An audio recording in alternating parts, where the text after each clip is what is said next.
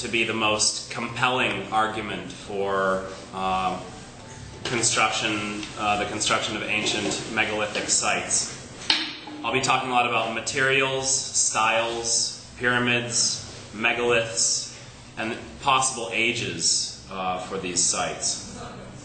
Whether the pyramids are old or not, evidence still shows that there was a group or groups of people who knew about how things should be laid out in terms of astronomical connection, uh, far before, far previous to the date that uh, mainstream history says. So, um, I'm going to start with megaliths. Uh, what are megaliths?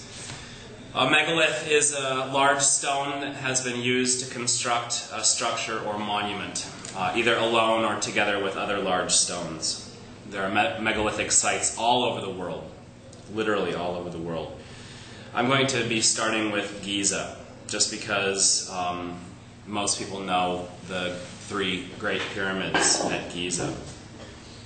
So, um, I'm going to give the, the mainstream history uh, view of what Giza is. It's actually it's, it's considered it's called the Giza necropolis. It's you know it includes the three uh, great pyramids as well as seven smaller unfinished pyramids. So let's talk about the the Great Pyramid at Giza, the, the largest pyramid at Giza. Egyptologists believe the pyramid was constructed over a 14 to 20 year period. They're not sure if it was, you know, 14 or as much as 20 years, uh, around 4,500 years ago. Uh, there are different estimates to how many stones are actually in the pyramid itself, from a, from a low estimate of uh, 630,000 stones to a high estimate of 2.4 or about 2.5 million stones. These including the the inner stones, and then actually on the outside there would have been there are stones. There were stones there that are not there now. They've been removed uh, whenever a thousand years ago or longer. So if you take the low estimate, well, let's take the high estimate first. If you take the high estimate of about two and a half million stones, and you divide two and a half million into uh, 20 years, you get uh, that they would have been having to place one stone every four and a half minutes, day and night, for 20 years. Uh, these stones ranged from 20 to more than 30 tons each. A ton, if you don't know what a ton is, this is for, I think everyone knows what a ton is, but a ton is about the size of a small car. A small car weighs about one ton. I don't know, not a small car, not a mini car, but a not a Land Rover or something that might be a little bit heavier, a truck. Um, so, for the high estimated number of stones, for 2.5 million stones, that'd be four and a half minutes for each stone. If you take the low estimate of uh, uh, 6. uh, 630,000 stones, that's about 17 every 17 minutes, one stone every 17 minutes for 20 years. What I'm trying to show is, if, if, you can imagine that, we don't know how they built the pyramids, but that's a, that's, that's a lot of work. I mean, imagine doing anything for every 4 or 17 minutes for 20 years. And then imagine that's putting 2 to 30 ton blocks of stone in perfect places. All right. So the three pyramids, uh, the three great pyramids at Giza, were supposedly built as tombs for the, the pharaohs Khufu, Khafre, and Menkaure. Uh, like I mentioned, there are also seven smaller pyramids at the site. Uh, some of them are not finished.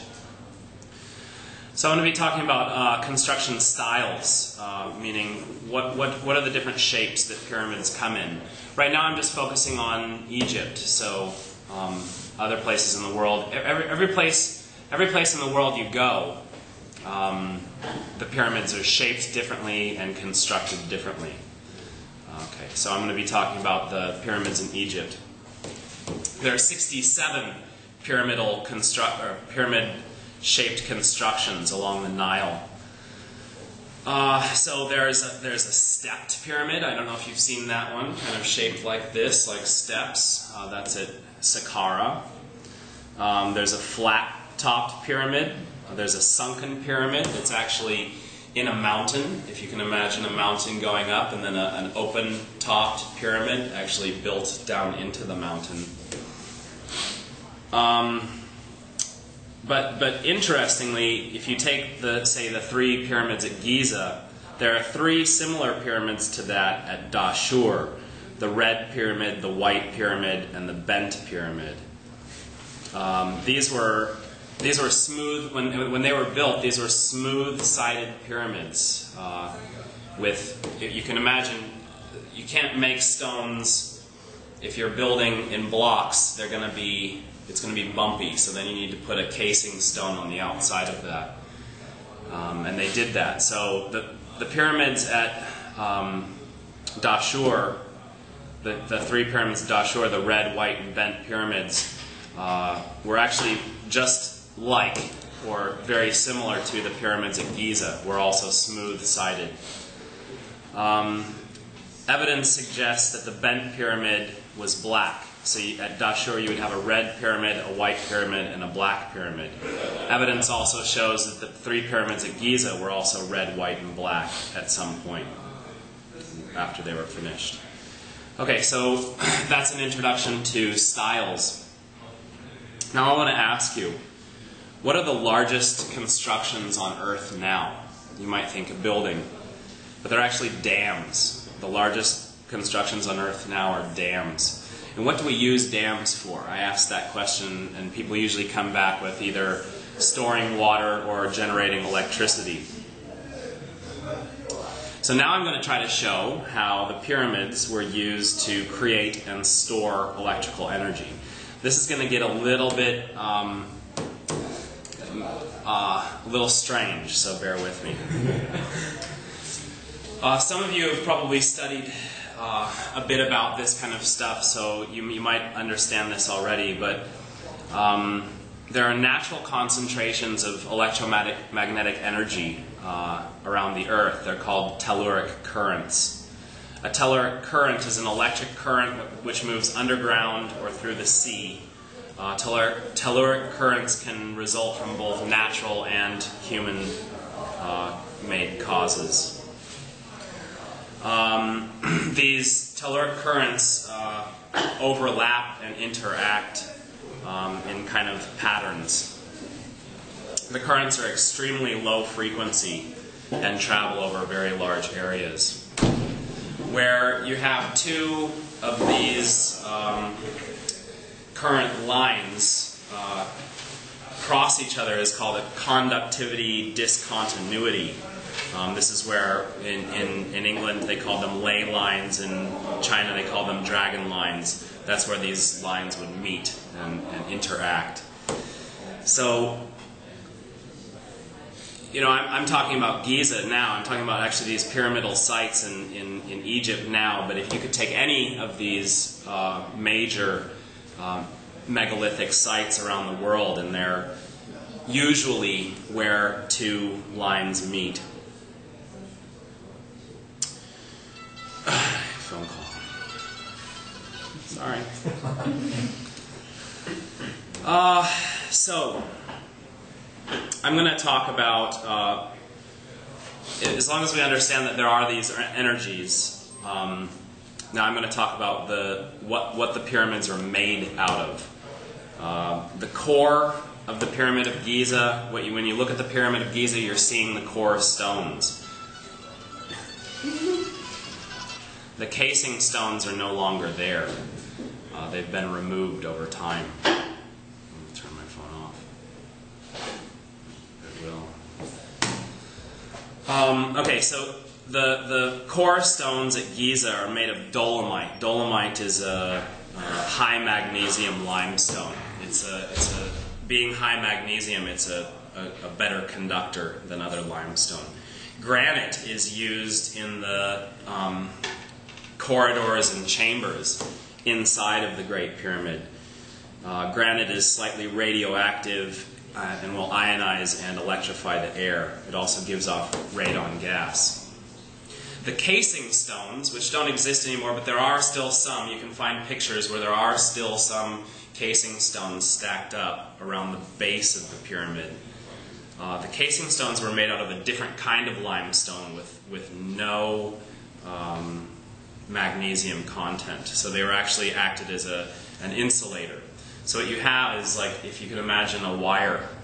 Uh, there aren't any wires around here, but if you can imagine a wire where the, the center of the wire is the conductor and the outside of the wire is the insulator, and that's basically how uh, the pyramid pyramids worked. Some pyramids. Not all pyramids were built for this reason. so, um, this gets into um, what are called subtle energies, um, qi in China, prana in India. This would have been something that ancient people would have known about and would have studied.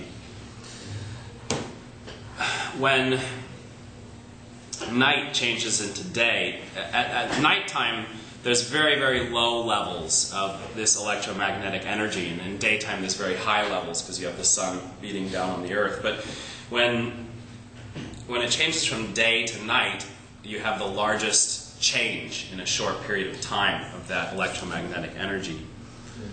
Um, so you have a, a, very large upswing in the electromagnetic energy. Wherever you have a changing magnetic field, you generate an electric current in anything that will conduct electricity. That's uh, a simple physics thing called induction. Physics thing. I'm glad I can call it a thing. Uh, so you have the casing stones as, a, as an insulator, you have the core stones as a conductor, and then the passageways on the inside, um, an even better conductor. And uh, the electrified shafts on the inside and the whole system would have sort of worked as a car bat like like a car battery where um, when you're not running the motor um, it's going to keep some of that energy inside. So even when, it, when it's nighttime and there's not lots of electromagnetic energy coming in, you're still going to store a lot of that on the inside. Uh, it, would, it would not all dissipate. You might ask, if the pyramids were built for this reason, uh, why don't they do anything now? Why, why, why are they not glowing or creating electricity now? There's a story uh, of this German electrical pioneer named Siemens. I don't know if you've heard of him. You've probably heard of the company uh, Siemens, but there was a German electrical pioneer named Siemens, and there's a unit of uh, conductance named after him. He was in Egypt in the late 1800s, and he climbed up to the top of the Great Pyramid with his guide and uh, a couple of other people. And he was noticing that there was a lot of static electricity in the air. He was like, he was sort of feeling it, you know, his hair is standing on edge. And he took a, he improvised what's called a, a Leyden jar. He took a wine bottle and stuffed it. I can't remember what he stuffed it with. That's not important. But anyway, let me describe a Leyden jar. A Leyden jar is a device that stores static electricity between two electrodes, uh, one inside the jar, one outside the jar. It was invented uh, independently by two different people, um, a German and uh, a Dutch scientist, a Dutch scientist, one year after the other. He made the, uh, so Siemens makes the Leyden jar, and uh, as soon as he, he sort of holds it up and sparks started flying off the top of the jar, he eventually accidentally touched um, one of the other people with it and knocked him to the ground. So this guy, Siemens, was obviously, he, he understood the whole process going on there. Uh, the mainstream argument for the pyramids is that they were built as tombs. Um, the, the, the Great Pyramid was built was supposedly built for Khufu. Uh, supposed to be have you know would have been the, the tomb of Khufu. The the second largest pyramid would have been the tomb for Khafre, and the third largest would have been for Menkaure. But let me, let me talk about tombs versus pyramids. Um, in, in every tomb, real tomb that we find, we find a lot of art inside of that tomb. Not only just art inside of that tomb, but um, the, the, the, the person who is buried there has his name there as well. Um, the Great Pyramids have no art in them whatsoever. There is not a single piece of art in any of them. Um, there might be one thing I'll mention later um, that's too long to get into now. Seven minutes left. Really? That's been 23 minutes. No, it's been 13 minutes. 15. 15 minutes, okay. Um, all right, the, t- the tombs are usually located in groups, such as the Valley of the Kings. Um, there are uh, these three pyramids that are tombs. Uh, the step pyramid was a tomb, the flat top pyramid was a tomb, and, and inside of these pyramids, there is a lot of art inside of those ones and the person's name. All right. That, uh, the Great Pyramids, they never found mummies inside of either. So, all right, you can look, take a look at these pictures now. Um, the first picture. No, I don't need them. Take, take a look at them.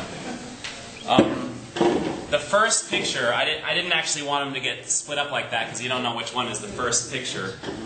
Um, but the first picture is a picture of uh, trilithon construction. Trilithon refers to two upright pillars with another pillar on top of it. Um, the picture that you have there, they're, they're in a stack, yeah. They should be in a stack. You keep them in a stack or else you'll never know what I'm talking about.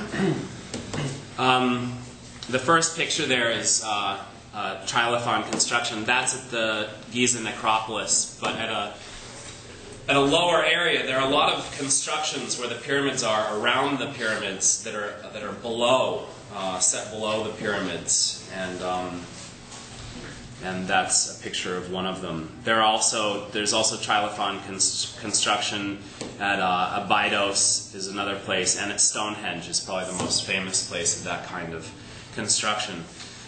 this this Trilithon construction is usually uh, connected with uh, aquifers also under the, the constructions. There are aquifers under Stonehenge and aquifers under uh, the pyramids. Why aquifers? Uh, moving water creates electricity. As the Nile uh, moved up and down with the seasons, it would have uh, flooded the aquifers. There are tunnels underneath the pyramids uh, that connected to the aquifers that would have also had water inside of them. Okay. Uh, just as a side note, if anyone knows who Nikola Tesla was, he was a guy trying to create, um, well, he did create, he, he invented alternating current, uh, but he was trying to create free electricity for everyone. When he built his Tesla tower, he had tunnels, a tunnel going down and shafts going down to the aquifers underneath that as well. All right. Since I'm running out of time, I'm going to have to push through this. How old are these sites? I think what, what I want to show is that it's possible that these sites are not just tombs. And then I want to talk about how old are these sites. Now this is going to get on to the next picture. So the first picture is the Trilithon construction. Then you'll see a picture, um, what looks like a stone circle. No, no, it's right here. what looks like a stone, a small stone circle, like some sort of uh, Stonehenge. Um, that's that's at Nabta Playa, which is um, about 100 kilometers west of the Nile, very close to the Sudan border, so in the very south of Egypt. It's a solar planetary star chart, approximately 10,000 years old. If you go another 300 kilometers to the west, you're getting farther and farther away from the Nile. You get to this place called Abu Balas. That's not one of the pictures just if you look, just we're just on the first two pictures, so you'll see Nabta Playa as the second picture. Abu Balas uh, was actually a trade route, and this gets into a whole another thing, like who are they trading with, and, and there are new books coming out about that stuff. Um, close to that, south of that, there's a place called the Eight Bells, and these places like Abu Balas and the Eight Bells look like they're really old pyramids, or at least mounds that were created to, to you know, so people could find their way through the through the desert. There's another place called Cave of the Swimmers. If, if anyone saw The English Patient, it was made famous in that movie. The, the woman dies or is laid to rest in the Cave of the Swimmers. Now, you think, if you think about that, why would there be cave paintings of swimmers? This is extremely far from any water. It's out in the middle of the desert. It's 600 kilometers from, from anything re, uh, resembling water. All right, so how old are these sites? And if these sites are as old as the last ice age, then it is possible that Giza was at least started that long ago. So next to the last in Egypt, I want, I'll come to the Sphinx. I think a lot of us know what the Sphinx is. The Sphinx is a cat, basically, with a pharaoh's head, or a lion with a pharaoh's head. Um, study by uh, an American geologist has shown that there's there's there's weathering, uh, um, erosion uh, in the um, in the in the walls around uh, the Sphinx. The Sphinx was actually the, the it was carved. They carved down into the ground build the Sphinx. It wasn't blocks of stone built on top. There were some blocks of stone built on top, but most of it was actually car- carved out of solid rock. Um, there's water weathering on the base of the Sphinx and on its enclosure, and the estimate is that this water weathering would have taken hundreds to even thousands of years to be created, and it hasn't rained in Egypt really uh, since about 5,000 years ago. And the, the Sphinx was said to be made about 4,500 years ago. So uh, this, this geologist says that the Sphinx is at least 7,000 years old, and if not more, maybe 9,000 years old.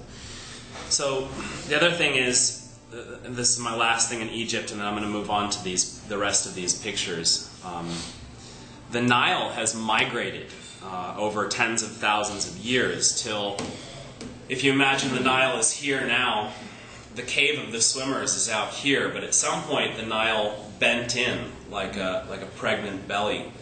And uh, over tens of thousands of years it migrated, and, and at some point, about uh, 5,000 years ago, it was close to you know where the Great Pyramids at Giza are now, and, and it's actually then since migrated even further away from that. All right.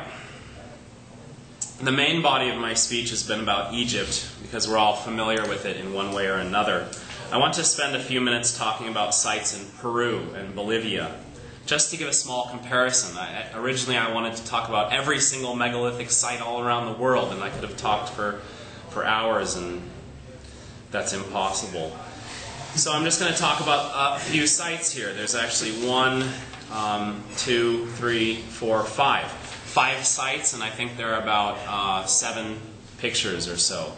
So if you pull off that first page, that the, the first thing that you'll see there is a place called Chanquillo Observatory. Um, if you if you if you if you've got all the pages out of order, you won't necessarily know which one it is. But um, yep, no problem. So the Chank, I'll just read through this. The Chanquillo Observatory is an ancient monumental complex in the Peruvian coastal desert. Uh, the picture actually shows th this thing called the 13 Towers, which is a solar observatory. That's it there.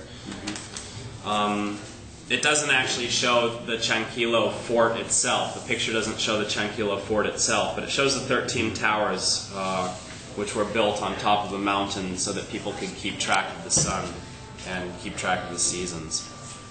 The next place is probably a pyramid that you, have never seen before. It has a, a, circle in front of it if you're looking for the picture. That's, that's, uh, the, that's the main pyramid uh, at Caral in, in Peru. Uh, it's dated uh, between 2600 BCE and 2000 BCE, which is, you know, what mainstream history says is the age of the Great Pyramids at Giza as well. Um, at this point, uh, or at, at, some point, scientists believed it was the largest uh, urban center in the Americas at the time. Uh, now other sites are being found nearby, so maybe they think it's not. The next picture, there are, the, the next page is actually two pictures of the same site. I think two pictures of the same site. Yeah, and what you'll notice uh, from that picture um, is that there are some very large stones and then a lot of much smaller stones. That place is called Ollantaytambo Tambo in Peru. Uh, mainstream history says that it was built by the Incan people. But as far as I can figure out, it was captured by the Incan people, destroyed, and then rebuilt. And that's why